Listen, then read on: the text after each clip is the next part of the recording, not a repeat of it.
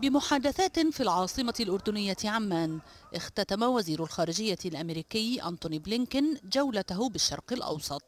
خلال هذه المحادثات مع العاهل الأردني أكد الملك عبد الله الثاني ترحيبه بتحرك الإدارة الأمريكية لمعاودة فتح واشنطن قنصليتها في القدس. وأعرب بلينكن من جانبه عن امتنانه للأردن لدورها في تعزيز الاستقرار بالمنطقة.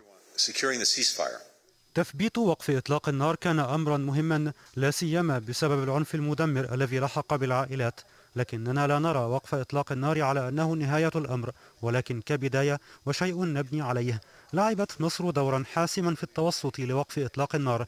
اجتماعاتنا في القاهرة وعمان وهذه الرحلة برمتها تعكس حقيقة أساسية وهي إذا أردنا تجنب العودة إلى العنف المروع في الأسابيع الأخيرة فإن دول هذه المنطقة بحاجة إلى مساعدة بعضها بعضا.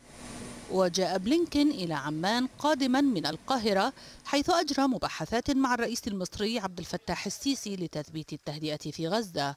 وشملت جولة بلينكين كلا من القدس ورام الله وأعلن عن تبرعات أمريكية لإعمار قطاع غزة.